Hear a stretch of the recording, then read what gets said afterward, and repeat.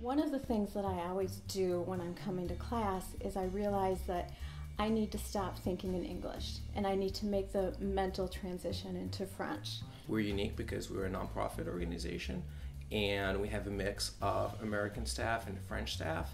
Our teachers are native French speakers and they're all certified in teaching French as a foreign language, which helps us provide a totally immersive experience for our students. We keep the classes small, six person on average per class, and this is how we make communication a priority. L'équipe est plus petite que les autres alliances où j'ai pu travailler, mais les professeurs ont beaucoup plus de classes. You can have language classes, uh, you can have classes with a specific objective, you can learn civilization.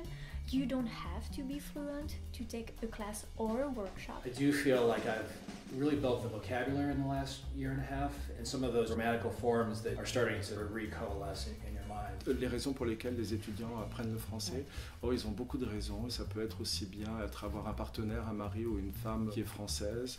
C'est pour des raisons professionnelles. Simplement le goût et l'attrait de la culture française. Malgré tout, on est euh, malgré cette culture attire. There are lots of countries in the world that actually speak French, so it's a way to open to the world.